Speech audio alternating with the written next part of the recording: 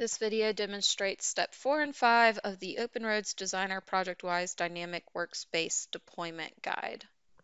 So in step three, we created the CSBs, and so now for step four, we need to link these CSBs to our projects.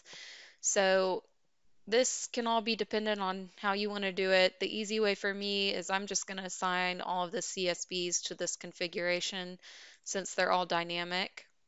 So you right click, select properties, go to this workspace tab, and first we'll add the predefined, just double click, and it's this ORD configuration root is the one I created.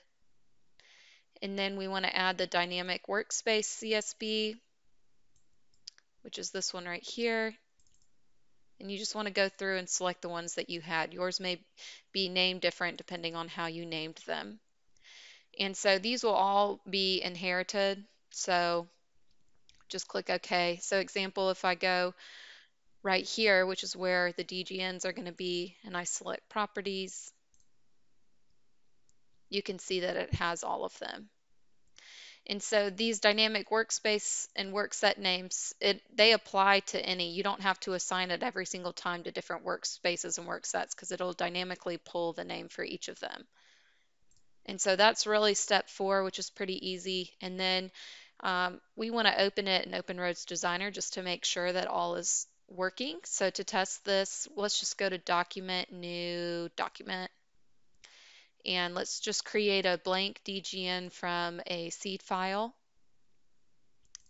That's the, where, the location of where we want it to go. And let's browse to our seed file. So that will be, let's go to configuration, organization civil, imperial, seed. I'm just going to use this seed 2D. I'll click open. Next. I'll call it test. You can call it whatever you want and select the application, which is Open Roads Designer, and finish. Okay, so uh, let's double click and open this up. If this is the first time to open it, it may take a while to download all of your DGN libs in the workspace to your computer. I've done this already, so it shouldn't take too long on my end. And it's just making sure everything is up to date. And now Open Roads Designer is launching.